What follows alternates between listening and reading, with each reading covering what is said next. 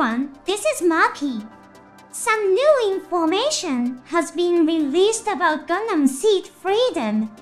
Today, I'll share three pieces of news with you. First, a discussion about the Impulse Gundam spec 2. Second, a talk about the cover of a magazine. Lastly, an interview with Mr. Win Morisaki, who is the voice behind Griffin Arbalest of the Black Knight Squad. Let's dive into the analysis. First up is the content about Impulse Gundam Spec 2. It's being debated among fans whether it belongs to the ZAFT Forces or to Compass. Let's take a look at the newly released SD Gundam card.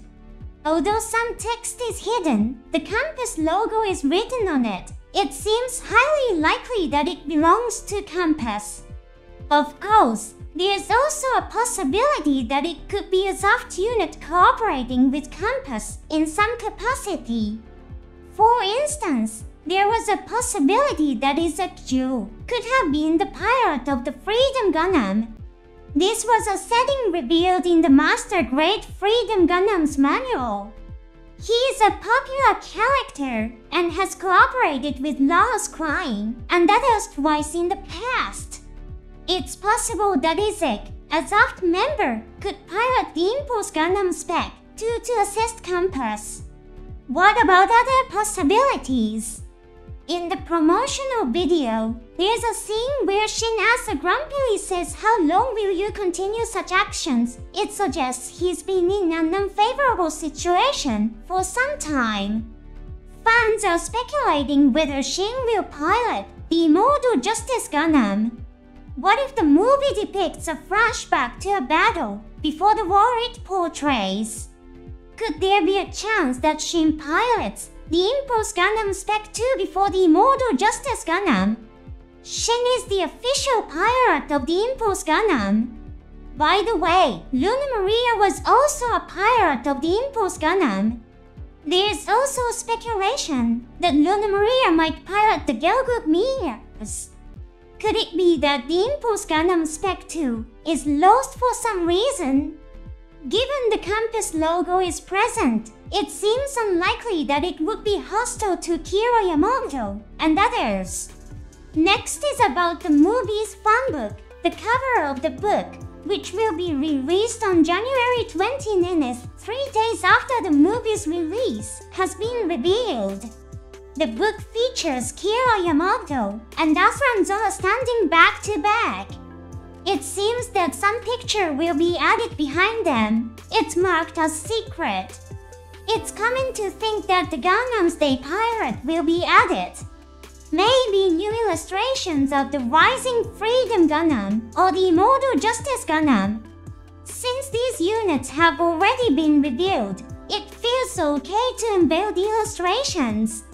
Among fans, there is speculation that the Gundams might power up or switch to new models. Since the book is released after the movie, it's indeed possible that it could feature enhanced or newly developed Gundams. What do you think?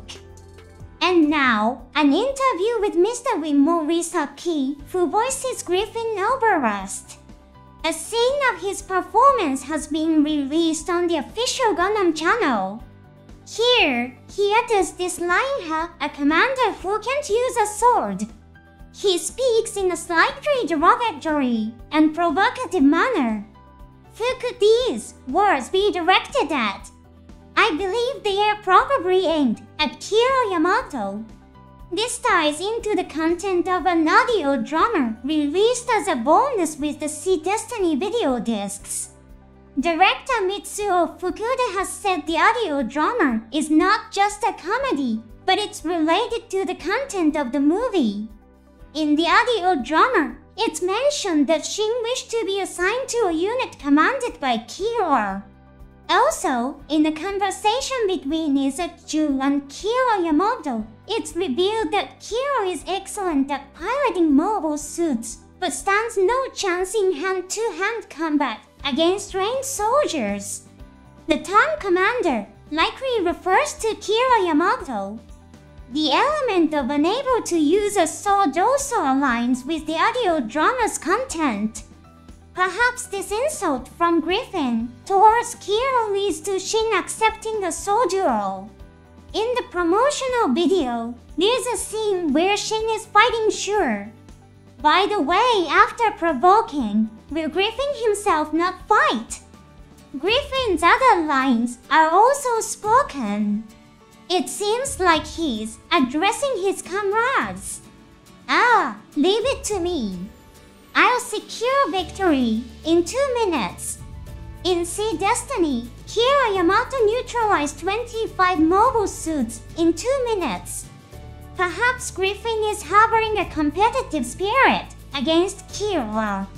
Mr. Morisaki says the movie has turned out to be fantastic, so please look forward to it. I am truly excited for the release as well.